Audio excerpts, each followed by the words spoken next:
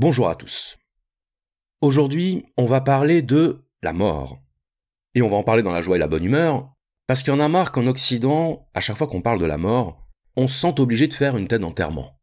Quand on parle de la mort, il est convenu d'adopter un air grave, un air sérieux, et la mort est un événement qu'on associe immédiatement à la tristesse. Mais on va arrêter l'hypocrisie cinq minutes et dire les choses telles qu'elles sont. La mort, c'est comme les SDF, c'est quand c'est sous nos yeux qu'on s'en soucie. Voilà, donc ça c'est fait, et si vous êtes déjà choqué, je vous dis d'entrée de jeu, vous n'êtes pas prêt pour la suite, mais c'était nécessaire de briser un petit peu la glace pour euh, détendre l'atmosphère sur ce sujet. Et aujourd'hui on va voir avec Épicure en quoi la mort ne doit pas nous effrayer, en quoi la mort ne doit pas être crainte. Et pour ça, on va commencer par partir d'un constat, qui est que dans l'histoire de la philosophie, la mort a très souvent été associée à la souffrance et à l'angoisse. L'angoisse métaphysique de la mort, c'est quelque chose qu'on retrouve chez énormément d'auteurs, et pour certains, la mort est même ce qui structure la condition humaine. L'humaine condition se définirait par notre caractère mortel, par notre finitude temporelle. Et plus que la mort, la conscience de la mort serait la marque de notre condition. Parce qu'après tout, si on n'a pas conscience de la mort, de la mort qui vient, bien il n'y a aucune raison que la mort soit source d'angoisse. Il n'y a aucune raison qu'elle soit pour nous une préoccupation métaphysique. Donc on va rappeler très brièvement le nom de quelques auteurs pour qui notre condition mortelle fait partie intégrante de la définition de la nature humaine. Pour Freud, on l'a vu dans la dernière vidéo, l'angoisse de la mort constitue l'une des raisons pour lesquelles l'homme a inventé Dieu, pour lesquelles l'homme a inventé la religion, car la religion nous promet une vie après la mort. La religion nous promet qu'après notre vie terrestre, nous connaîtrons une vie éternelle, une vie éternelle auprès de Dieu si nous avons fait le bien, ou dans les flammes de l'enfer si notre vie a été marquée par le péché. Mais dans tous les cas, il y a l'idée que, après la mort, la vie continue. Et c'est parce que l'idée d'une vie qui s'arrêterait définitivement nous paraît totalement absurde, nous dit Freud, que nous avons inventé Dieu pour conjurer cette absurdité. Un autre philosophe qui considère que la conscience de la mort fait partie intégrante de notre nature, c'est Heidegger. Heidegger qui définissait l'être humain comme un être vers la mort, on trouvera parfois un être pour la mort, selon les traductions, Sein zum Tode, et selon Heidegger, c'est ce souci de la mort qui vient, cette préoccupation métaphysique qui ne quitte jamais notre existence, qui fait que l'homme est constamment plongé dans l'inquiétude, au sens littéral, la non-quiétude, le souci permanent. Et c'est seulement à la condition que nous acceptions notre sort d'être mortel que nous pouvons sortir du souci, sortir de l'inquiétude et accéder à l'authenticité. Pascal, on l'a vu, considérait également que notre condition de mortel était absolument structurante. Pour Pascal, c'est parce que l'homme est incapable de demeurer en repos dans une chambre, c'est parce que l'homme est incapable d'oublier sa condition mortelle, qu'il a besoin de se divertir, qu'il a besoin de dévier son esprit, de dévier ses pensées, de cette angoisse fondamentale de la mort. L'homme se divertit par le jeu, par le loisir, par le travail, pour détourner son esprit de cette vérité à la fois effroyable et inévitable. Pour Schopenhauer, la mort est la marque de l'absurdité de notre existence. On sait que pour Schopenhauer, l'essence intime du monde, qu'il appelle la volonté, à laquelle nous essayons de donner du sens à travers la représentation, cette volonté est fondamentalement incompréhensible, inaccessible à l'entendement humain. C'est quelque chose qui nous dépasse radicalement, et toute prétention à comprendre le sens de l'existence, toute prétention à comprendre ce qu'est la volonté, lui apparaît comme étant seulement la marque de notre orgueil. La vie est incompréhensible parce que la mort est incompréhensible. Elle est même l'incompréhensible. Et partant de là, notre existence est vaine. Montaigne, quant à lui, disait que philosopher, c'était apprendre à mourir. Apprendre à mourir, c'est-à-dire apprendre à accepter l'idée de la mort. Parce que pris dans son sens littéral, apprendre à mourir, ça n'aurait pas beaucoup de sens. Nous n'apprenons pas à mourir. Nous mourons. Et nous n'avons pas le choix. Et qu'on l'ait appris ou pas, le résultat sera le même. Mais ce que voulait dire Montaigne, c'est que si on ne peut pas empêcher que la mort nous emporte, si on ne peut pas se soustraire à la mort, à cette inéluctable par excellence, on peut en revanche apprendre à accepter cette idée, et ainsi apaiser notre angoisse. Notre angoisse de quitter ce monde qui résume le tout de notre existence. Car qu'existe-t-il à part notre existence? Faut bien se rendre compte que l'angoisse de la mort, ce n'est pas juste un concept, c'est une expérience. Une expérience intérieure, une réalité intérieure. Une réalité qui nous prend aux tripes et aux neurones. Il faut savoir que cette vision pour le moins sombre de la nature humaine, cette idée d'une humanité qui se définirait par sa condition mortelle, n'a pas toujours été en vigueur chez les philosophes. Et notamment chez les anciens, on trouve l'idée que la mort n'avait pas ce caractère sinistre et mélodramatique qu'on lui prête dans l'Occident moderne. Par exemple, chez Platon, la mort n'était rien d'autre que la fin de notre existence terrestre et le début de la vie dans le monde intelligible. On sait que pour Platon, l'existence terrestre n'est rien d'autre qu'une projection en mouvement de la réalité intelligible, d'une réalité éternelle et transcendante. Or, pour Platon, nous sommes connectés à cette réalité éternelle par notre âme par la partie rationnelle de notre âme, que Platon appelait le nous, et qui fait que, lorsque notre vie terrestre s'achève, la vie de notre âme continue. Elle continue sous d'autres cieux. Elle continue dans un monde auquel nous n'avons pas accès en tant qu'être physique. Mais selon Platon, cette réalité à laquelle nous n'avons pas accès, c'est la vraie réalité. Il n'y a donc pas lieu de s'en inquiéter. Chez les stoïciens, la mort ne devait pas être redoutée, tout simplement parce qu'elle fait partie des choses qui ne dépendent pas de nous. La mort, c'est l'inévitable, la mort, c'est l'inéluctable. Autrement dit, il ne dépend pas de nous de mourir ou de ne pas mourir. Ce n'est pas quelque chose sur quoi nous avons un droit de veto. C'est pas quelque chose sur quoi nous avons notre mot à dire. C'est quelque chose qu'on retrouve chez de nombreux philosophes. Cette idée que la mort a ce caractère angoissant parce qu'elle est ce sur quoi il n'y a rien à dire. La mort n'est pas un objet de discours. La mort n'est même pas un objet de pensée. Tout simplement parce qu'on ne peut pas penser quelque chose dont on ne peut pas faire l'expérience. Tout ce que l'on peut dire de la mort, c'est la manière dont elle nous affecte, la manière dont on se la représente, et ce qu'elle constitue dans les faits, c'est-à-dire un retrait du monde. Et c'est cette idée de retrait du monde, le fait de tirer sa révérence, qui en fait un objet philosophique à la fois effrayant et fascinant.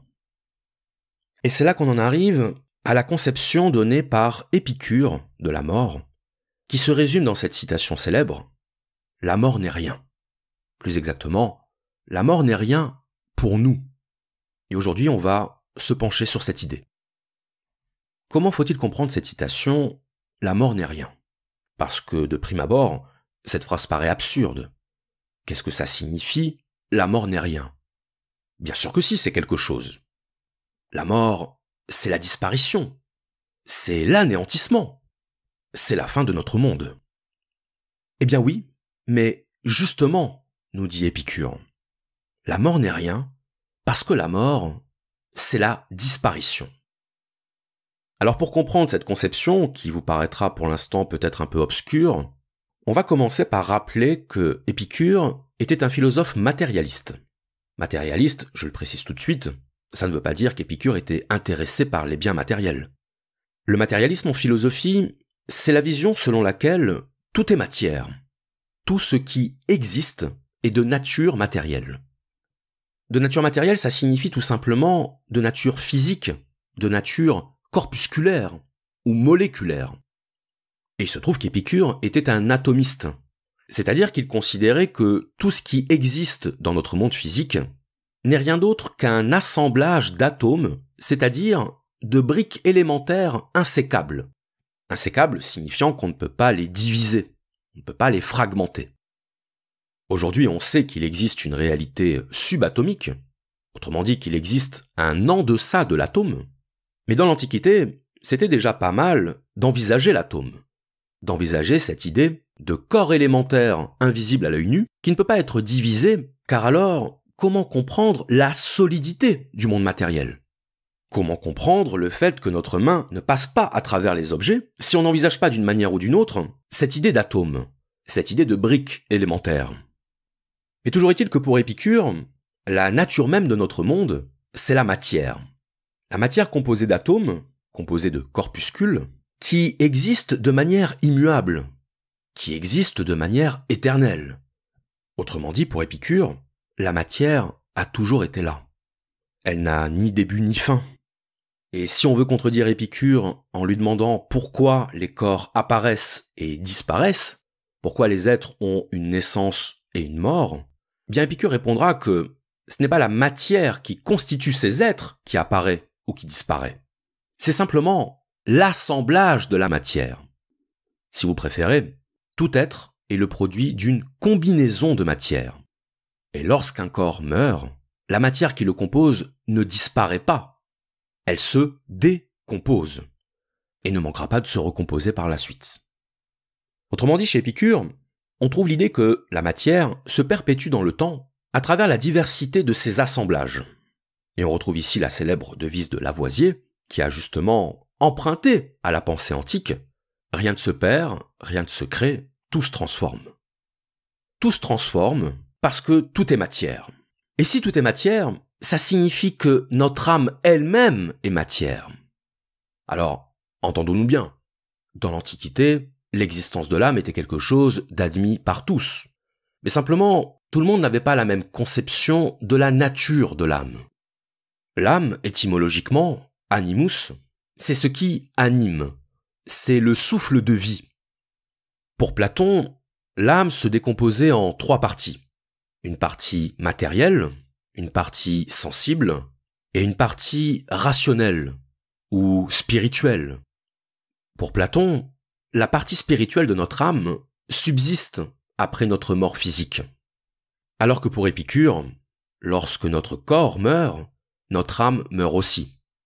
Si vous préférez, la mort de l'individu est une mort totale, à la fois physique et spirituelle. On ne retrouve pas chez Épicure le dualisme de Platon, cette idée que l'âme et le corps seraient deux choses indépendantes, deux choses qui auraient leur existence propre. Pour Épicure, l'âme et le corps sont intimement liés, et ce qui advient au moment de la mort, c'est leur séparation, leur désagrégation. Et c'est ce matérialisme d'Épicure qui permet de comprendre pourquoi, selon lui, la mort n'est pas à craindre. Car que nous dit Épicure? Il nous dit que l'existence peut se résumer à la sensation. En ce sens, Épicure préfigure ce qu'on appellera plus tard l'empirisme, c'est-à-dire le courant qui considère que tout n'est qu'expérience. Expérience au sens de ce que l'on éprouve, de ce que l'on vit sur le plan sensoriel. Pour Épicure, tout n'est que sensation, et la séparation de l'âme et du corps qui se produit au moment de la mort cette séparation signe la fin de toute sensation, la fin de toute expérience sensible de la réalité. Et donc, si la mort n'est rien d'autre que la fin de la sensation, que la cessation de toute expérience sensorielle, eh bien ça justifie l'idée que la mort n'est rien. Car comment la cessation de toute expérience pourrait-elle être quelque chose? Comment l'absence de toute chose pourrait-elle être considérée comme quelque chose? Pour Épicure, il n'y a pas lieu de craindre la mort, car la mort, au niveau de l'individu, ce n'est rien d'autre que l'absence, ce n'est rien d'autre que le néant. Or, dans le néant, il ne se produit rien, il ne se passe rien. Tout simplement parce que faire l'expérience du néant, c'est une contradiction dans les termes. Il ne peut pas y avoir d'expérience du néant. La mort n'est rien, parce qu'en l'absence de toute sensation, il est impossible d'éprouver quoi que ce soit. L'idée d'Épicure, c'est qu'on ne rencontre jamais la mort. On ne la rencontre jamais parce que tant qu'on est en vie, la mort n'est pas là. Et quand on meurt, on n'est plus là pour faire l'expérience de la mort. On ne rencontre jamais la mort parce que pour rencontrer quelque chose, il faut en éprouver la sensation. Or, au moment de notre mort, nous n'avons plus de sensation. Donc nous ne pouvons pas faire l'expérience de la mort. La mort, c'est ce qui met fin à notre expérience. En résumé, la mort ne nous concerne pas. La mort, nous ne la rencontrons jamais. Et parce que nous ne la rencontrons jamais, nous n'avons aucune raison d'en avoir peur. Alors évidemment, vous constatez qu'il y a dans cette conception d'Épicure ce qu'on pourrait appeler une approche logique de la mort. Une approche logique de la mort, ça signifie qu'on se pose la question de ce qu'est la mort fondamentalement, de sa définition technique, et c'est à partir de cette définition technique qu'on en conclut qu'il n'y a pas à en avoir peur. Si la mort ne peut pas se définir comme une réalité dont on fait l'expérience, mais justement comme l'absence de toute expérience, ça signifie que pour l'individu, la mort n'existe pas. Et pour vous le faire comprendre, je vais vous poser une simple question. Avez-vous déjà eu peur de naître? Avez-vous déjà eu peur de venir au monde? Et là, normalement, en entendant cette question, vous avez un petit froncement de sourcils. Quel sens y a-t-il à demander si on a déjà eu peur de naître? On n'a jamais eu peur de naître. Parce qu'avant de naître, on ne pouvait pas avoir peur. Pour avoir peur, il faut exister. Il faut déjà être né. Vous n'avez jamais eu peur de naître parce que vous ne pouvez avoir peur qu'à partir du moment où vous êtes déjà. Et donc quand vous n'existiez pas, vous ne vous posiez aucune question, par définition. Ce que nous dit Épicure, c'est que c'est exactement la même chose avec la mort. On se pose la question de la mort, on s'inquiète de la mort, parce qu'on est vivant. Il faut être vivant pour être inquiet. Mais ce faisant, on est inquiet de quelque chose qui n'existe pas. Et s'inquiéter de quelque chose qui n'existe pas, s'inquiéter de quelque chose dont nous ne ferons jamais l'expérience, ça n'a pas de sens. La mort n'est rien, si ce n'est un problème de vivant si ce n'est un problème d'individus qui ne sont pas confrontés à ce problème. Tout simplement parce qu'on ne peut pas être confronté à ce problème. Nous n'y serons jamais confrontés. Nous ne vivrons jamais notre mort. En réalité, la mort que nous vivons, c'est la mort des autres. C'est la mort de nos proches. Et qui, à l'occasion, nous rappelle qu'un jour ou l'autre, c'est nous qui allons mourir. Mais notre confrontation à la mort, ce n'est pas et ce ne sera jamais la confrontation à notre propre mort. Ce sera toujours la confrontation à la mort d'autrui. Ce qui nous affecte dans la mort, ce qui nous attriste, ce qui nous fait de la peine, c'est la perte d'un être cher. Ce qui nous attriste dans la mort, c'est de ne plus pouvoir faire l'expérience de ceux que nous aimons. C'est de ne plus pouvoir rire avec eux, parler avec eux, vivre avec eux. Au fond, ce qui nous attriste dans la mort, c'est le manque que cette mort crée chez nous. Au fond, si la mort nous rend tristes, c'est par égoïsme. Les larmes que vous versez à la mort d'un proche, ce sont les larmes du manque. Ce sont les larmes de l'absence. L'absence qui vous fait du mal. L'absence qui vous fait souffrir. Mais la souffrance liée à la mort, c'est d'abord votre souffrance. C'est pas la souffrance du défunt. C'est pas la souffrance de celui qui est mort. Parce que celui qui est mort ne souffre plus. Et ce n'est pas sa mort qui l'a fait souffrir. C'est ce qui a précédé sa mort. Pour le mourant, le plus difficile n'est pas la mort. Le plus difficile, c'est tout ce qui précède la mort. Et si le mourant souffre avant de partir, il faut bien le dire, sa mort est pour lui une libération. La mort nous attriste pour des raisons égoïstes, pour des raisons égocentriques. L'égocentrisme peut parfois porter le vêtement de la sensibilité. Ce qui nous attriste dans la mort d'un proche, ce n'est pas la mort de ce proche, c'est le fait qu'il va nous manquer. C'est le fait que nous soyons privés de sa présence, privés des rires qu'il nous procurait, ou de la tendresse qu'il nous offrait. Et c'est bien normal. Il ne s'agit pas de changer ça. Il s'agit seulement d'en avoir conscience et de l'assumer. Il s'agit d'entendre et d'accepter que la mort des autres nous fait du mal à nous. C'est à nous qu'elle fait du mal, la mort des autres. Ce n'est pas à ceux qui partent, c'est à ceux qui restent. Car pour souffrir, il faut être là. Et la mort des autres est un rappel de notre propre mort à venir, une mort que nous associons forcément à la tristesse que la mort des autres engendre. Ce n'est pas la douleur liée à la mort qui nous fait peur, c'est la tristesse que notre mort va laisser derrière elle. Mais l'angoisse de la mort, ce n'est pas seulement ça. C'est aussi l'angoisse de ne plus être. C'est l'angoisse liée à la conscience que nous ne sommes pas immortels. Or, nous avons un désir d'immortalité. Nous avons un désir d'exister au-delà des limites naturelles, au-delà des limites imposées par l'univers. Les anciens auraient qualifié ça d'ubris, la démesure, la déraison. Le fait de désirer au-delà de ce qui est prévu par la nature. On se souvient que pour les stoïciens, désirer quelque chose qui ne dépend pas de nous, c'est pure folie. Le désir d'être immortel est un désir absurde, car c'est le désir de l'impossible.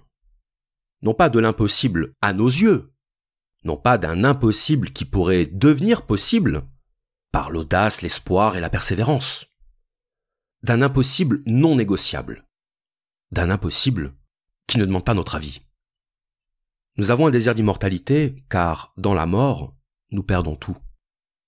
Nous perdons absolument c'est pour ça que nous trouvons refuge dans le divertissement, parce que le divertissement nous dispense de trouver l'acceptation. Or l'acceptation est le seul chemin possible.